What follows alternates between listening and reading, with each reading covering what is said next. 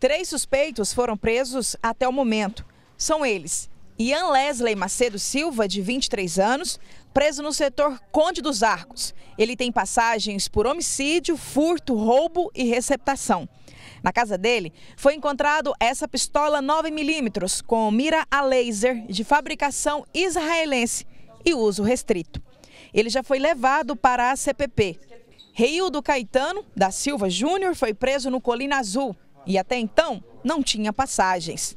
Alexander Souza Oliveira, 19 anos, já tinha passagem por roubo e foi preso no Jardim Tiradentes. Os três foram ouvidos e os três negam envolvimento, embora haja elementos que, que permitem concluir pelo seu envolvimento, independente da confissão deles. Eles são suspeitos de terem matado Vinícius Atos Dias, de 26 anos.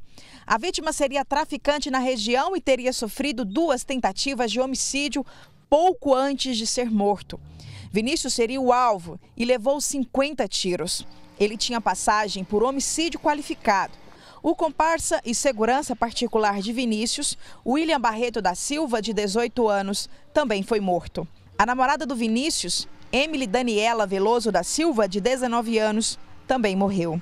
O crime aconteceu aqui na rua Monza, no Jardim Florença. Era noite de sexta-feira, dia 15 de junho, quando estava acontecendo uma festa junina de toda a comunidade tudo estava acontecendo como previsto. As pessoas estavam se divertindo, só que de repente, três homens encapuzados chegaram até a festa.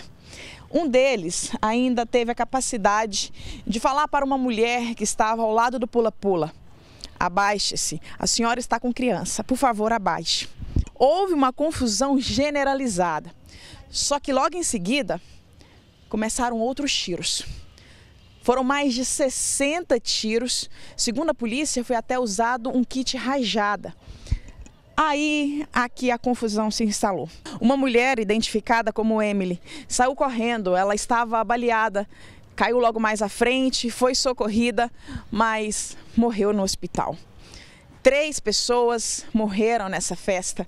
Nós trabalhamos até então com a disputa por território. Há um indicativo de que esses presos, esses suspeitos, eles têm envolvimento com facções criminosas e então esse, esse, esse crime seria motivado por uma disputa com, com esse mote, com uma disputa por território de tráfico de drogas. Os suspeitos negam o crime e dizem que não tem envolvimento.